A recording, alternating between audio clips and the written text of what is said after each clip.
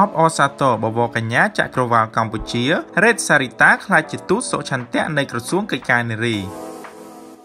ទទួលបានក្លិនក្រអូបជាប់ពេញមួយថ្ងៃជាមួយសាប៊ូដុសខ្លួនលុច Magical Orchid ថ្មី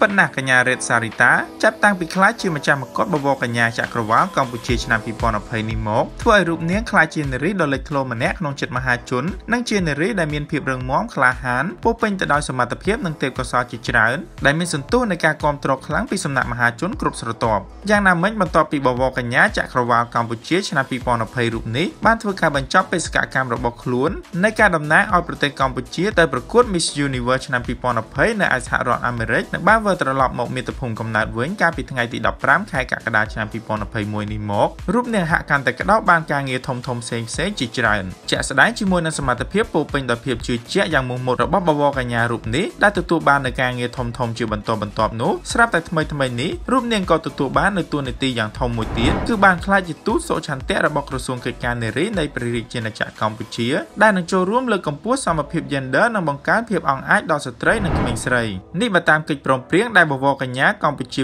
2020កញ្ញារ៉េតសារីតាបានចុះហត្ថលេខាជាផ្លូវការក្នុងនាមជាទូតសុឆន្ទៈរបស់ក្រសួងកិច្ចការនារីនៃព្រះរាជាណាចក្រកម្ពុជាតាមរយៈ Zoom កាលពីរសៀលថ្ងៃទី19ខែសីហាឆ្នាំ2021នេះ